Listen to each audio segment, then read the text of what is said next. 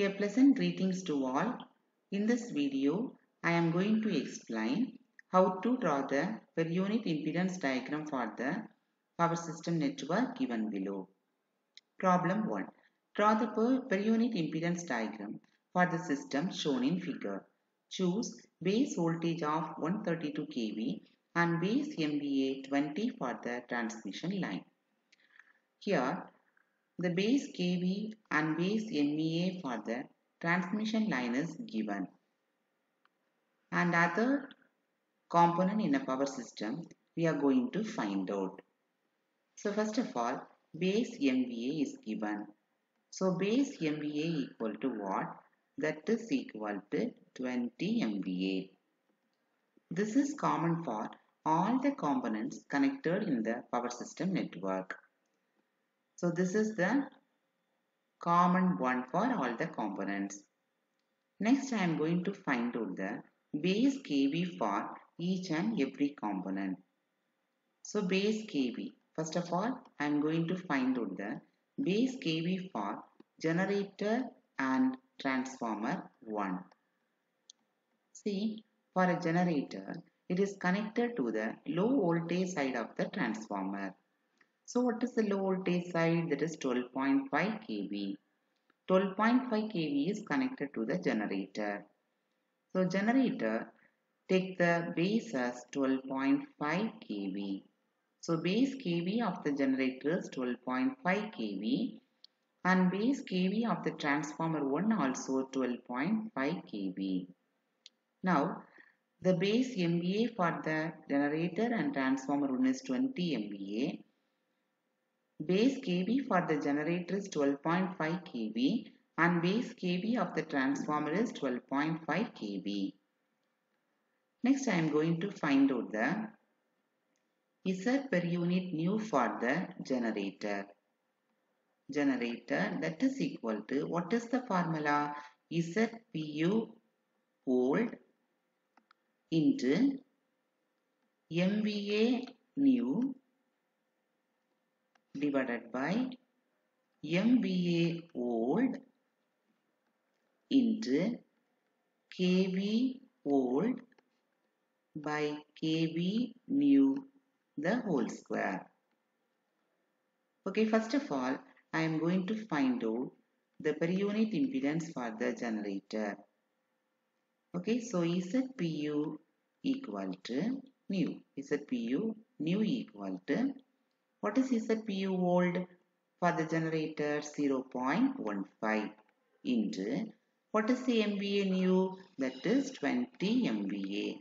And what is the MVA old that is also 20 MVA.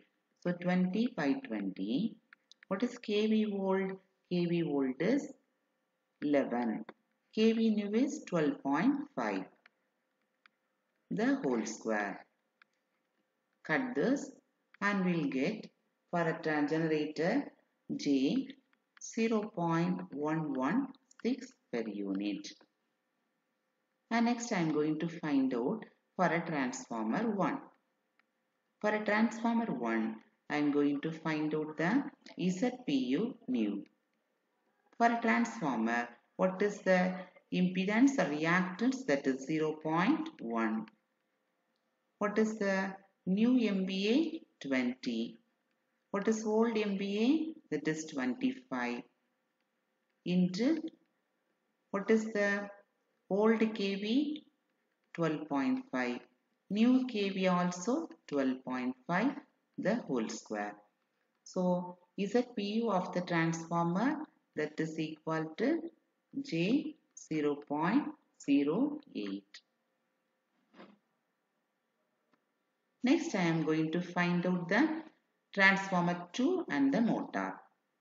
So what is base MVA? Base MVA is common for all the components.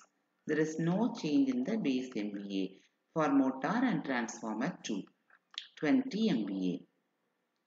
And what is the base kV? Base kV for transformer 2 and the motor.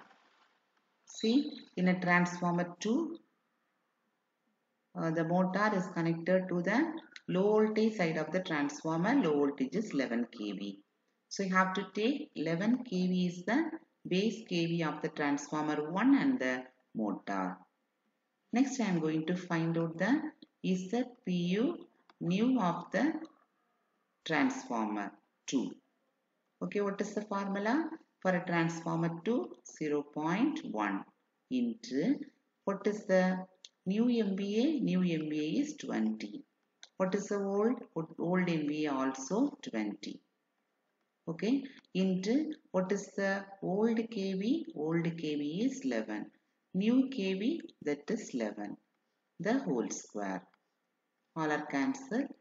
We get the answer J 0.1 per unit. And next find out the per unit impedance of the motor. So ZPU new equal to what is the reactance value? J 0.15 into what is the old value? Old value is 11. New base is also 11. The whole square into the old base is 15 and new base is 20. So 20 by 15. Okay, what is the value? The value equal to J 0.2 per unit. Motor, transformer 1 is over, transformer 2 is over, generator is over and also motor is over. Next I am going to find out the transmission line.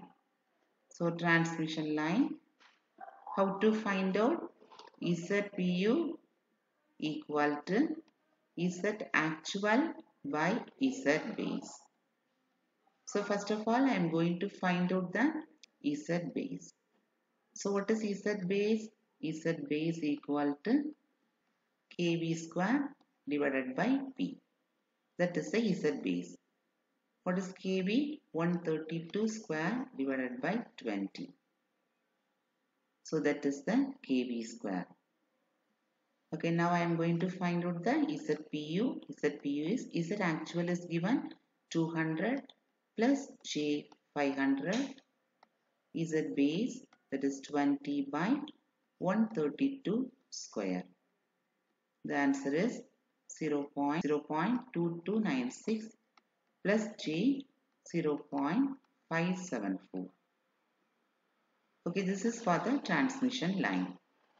After getting the value for the transmission line, I am going to find out the load. What is the? Next, we are going to find out the per unit impedance of the load. So, for finding out the per unit impedance, first of all, we are going to find out current drawn by the load. What is the current drawn by the load? Current drawn by the load. That is equal to 5 MVA. 5000 5 into 10 power 3 divided by 5000 kVA. Root 3 into 11 kV. Angle is cos inverse 0.8. Okay, next. That is lagging. So, minus cos inverse minus 0.8. So, the answer is 262.44 angle minus 36.87 degree. Then find out the impedance of the load. Impedance of the load. So what is the equation for impedance? That is 11 into 10 power 3 divided by root 3 into 262.44 here the angle 36.87 degree. That is equal to 24.2 angle 36.87 degree.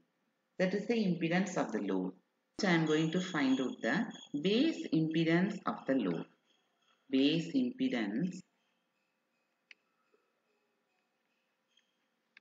of the load.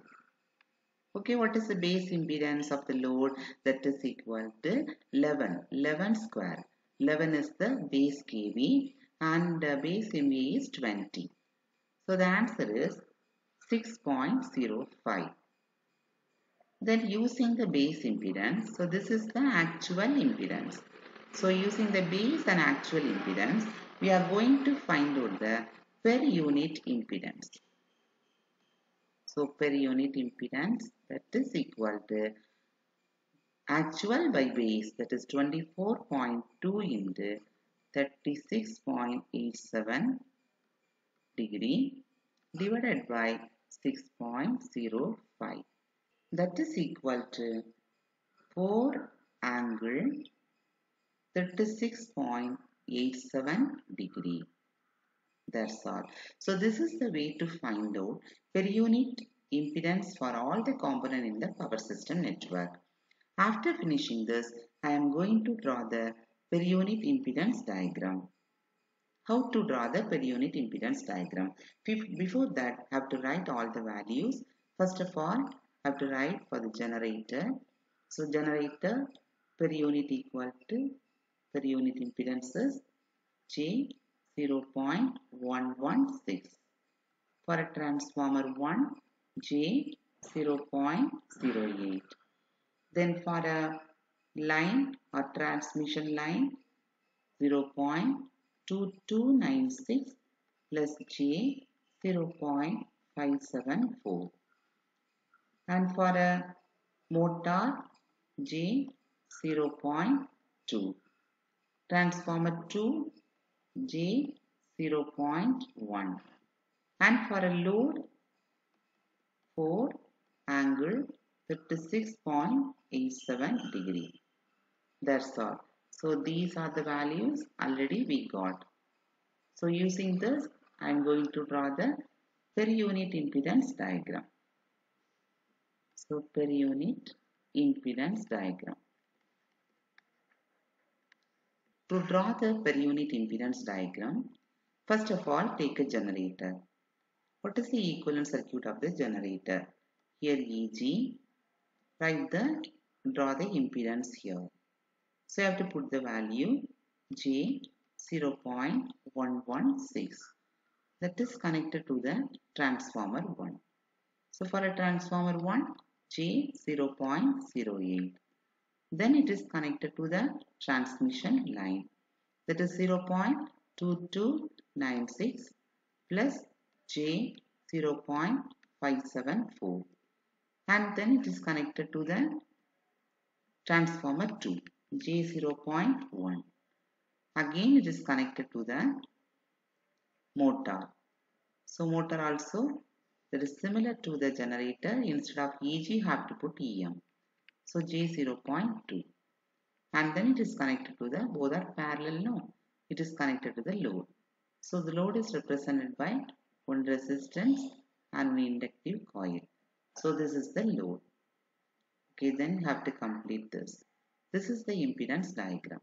Here you have to put the value for the load. So load equal to 4 angle 36.87 degree. So this is the per unit impedance diagram. Thank you. Have a nice day